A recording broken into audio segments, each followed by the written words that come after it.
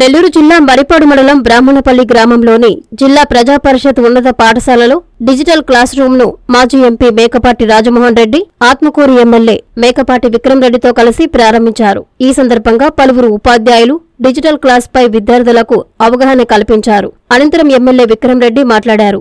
నియోజకవర్గాభివృద్ధి కోసం ఏర్పాటు చేసిన ఏడీఎఫ్ ద్వారా బ్రాహ్మణపల్లిలోని జిల్లా ప్రజా పరిషత్ ఉన్నత పాఠశాలకు ఎక్సైర్స్ సంస్థ సహకారంతో అందజేసిన డిజిటల్ క్లాస్ రూమ్ను ప్రారంభించడం జరిగిందని అన్నారు. విద్యారంగంలో ప్రతి ఒక్కరూ బాగా చదువుకోవాలనే ఉద్దేశంతో ముఖ్యమంత్రి వైఎస్ జగన్మోహన్ రెడ్డి అనేక సంస్కరణలను తీసుకువచ్చారన్నారు. ప్రతి పేద విద్యార్థి ఉన్నత చదువులు చదువుకునేలా ఆయన కృషి చేస్తున్నారని అన్నారు. బ్రాహ్మణపల్లి పాఠశాల అభివృద్ధి కోసం తమ పూర్తి సహకారం అందిస్తానని ఎమ్మెల్యే అన్నారు. ఈ కార్యక్రమంలో విద్యా కమిటీ చైర్మన్ రమణారెడ్డి ప్రధానోపాధ్యాయులు మాధవరావు స్వీట్స్ స్వచ్ఛంద సంస్థ వ్యవస్థాపకులు చంద్రమౌళీశ్వర్ రెడ్డి మండల YCP convener Borra Subbireddy ACP నాయకులు ప్రజాప్రతినిధులు తదితరులు పాల్గొన్నారు.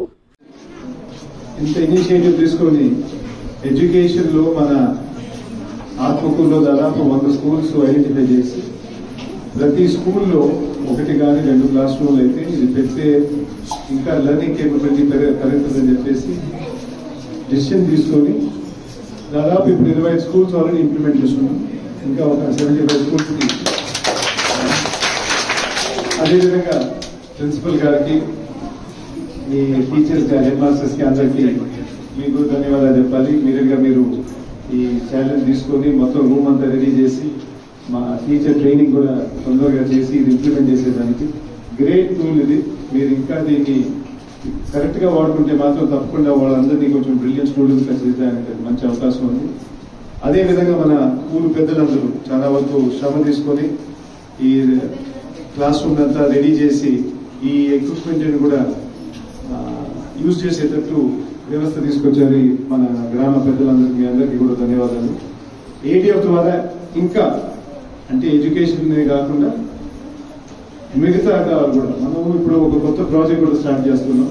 ఆత్మకూరు ఒక టెస్ట్ కేసుగా తీసుకొని పిల్లలందరూ చదువుకొని అందరూ బయటికి పోతున్నారు కానీ ఇక్కడే గ్రామంలో ఉండట్లేదు లేకపోతే ఈ ఆత్మకూరులో కానీ ఇక్కడే ఉండట్లేదు అని చెప్పేసి ఒక ప్రాజెక్ట్ స్టార్ట్ చేసి వచ్చే ఇరవై సంవత్సరాల్లో ఈ మైగ్రేషన్ ఎంత తగ్గించాలి. ఏ విధంగా ఇక్కడ వ్యవస్థలు తయారు చేస్తే పిల్లలకి ఇక్కడ కూడా మంచి అవకాశం ఉంది. పట్టణాల్లో ఏ విధంగా శాలరీ వస్తుంది ఇక్కడ కూడా అదే విధంగా శాలరీ వచ్చేటట్టు అవకాశం తీసుకొస్తే మన మైగ్రేషన్ ఆపి మన సిటీస్ మీద కూడా తక్కువగా ప్రెషర్ పడకుండా ఉంటుంది. ఇప్పుడు ఆల్రెడీ మన నాలుగు సిటీలు అయితే దాదాపు బస్టింగ్ పాయింట్ వచ్చేస్తున్నాయి ఈ ఆ రాబోయే రోజుల్లో ఇక్కడే అవకాశాలు తీసుకెళ్ళడానికి ఒక ప్రాజెక్ట్ కూడా తయారు చేస్తున్నారు ఇంకా దాదాపు ఒక సంవత్సరం రెడీ అవుతుంది.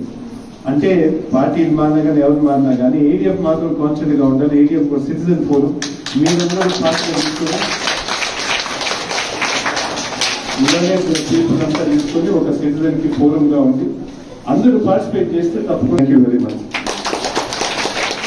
పదమూడు సంవత్సరాల జూనియర్ కాలేజ్ ప్రయాణంలో విశ్వసాయి మరో మైలురాయి. విశ్వసాయి జూనియర్ కాలేజ్ వారి మరో నూతన బ్రాంచ్ రమేష్ రెడ్డి నగర్ నందు రెండు వేల ఇరవై నాలుగు ఇరవై ఐదు అకాడమిక్ సంవత్సరం నుంచి ప్రారంభమవుటకు సిద్ధంగా ఉంది. అన్నమయ్య సర్కిల్ టోనోస్పీట్ ధనలక్ష్మీపురం ఇలా నెల్లూరు నలుమూలలా ఇంతకు ముందే బ్రాంచీలు కలిగిన విశ్వసాయి జూనియర్ కాలేజ్ ఇప్పుడు మరో నూతన బ్రాంచ్ రమేష్ రెడ్డి నగర్లో కేవలం పదమూడు సంవత్సరాల వ్యవధిలో అనేక బ్రాంచ్లు స్థాపించడమే కాకుండా వెయ్యికి పైగా మెడికల్ సీట్లు మరెన్నో ఐఐటి ఎన్ఐటి సీట్లు ప్రతి సంవత్సరం పొందుతూ ఎప్పటికప్పుడు పిల్లల భవిష్యత్తుని తల్లిదండ్రుల నమ్మకాన్ని నిలబెడుతూ ఉన్న విద్యా సంస్థ విశ్వసాయి జూనియర్ కాలేజెస్ నెల్లూరు తిరుపతి.